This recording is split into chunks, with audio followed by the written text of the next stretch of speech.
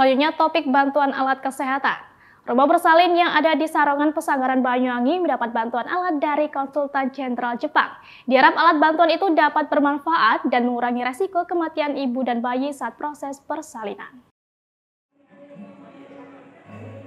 Rumah bersalin yang ada di Sarongan Pesanggaran Banyuwangi mendapat bantuan alat dari konsultan jenderal Jepang.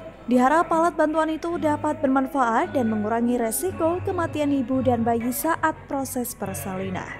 Bupati Banyuwangi Ipuk Fiastiandani menghadiri penyerahan aset dan peresmian proyek hibah rumah bersalin. Alat bantu diberikan oleh konsultan jenderal Jepang di Surabaya, Jawa Timur. Diharap bantuan alat kesehatan tersebut dapat membantu mengurangi angka resiko kematian ibu dan anak saat persalinan. Ipuk menyebut jika alat pemberian konsultan jenderal Jepang di Surabaya itu dijaga dengan baik, serta wajib dipergunakan dan dimanfaatkan semaksimal mungkin. Sebab diharap dengan adanya bantuan alat tersebut dapat mengurangi angka kematian ibu dan anak saat bersalin. Untuk desa Sarongan jaraknya jauh dari rumah sakit. Oleh sebab itu, dengan adanya rumah bersalin dengan kelengkapan alat yang ada, diharap dapat membantu masalah masyarakat tersebut.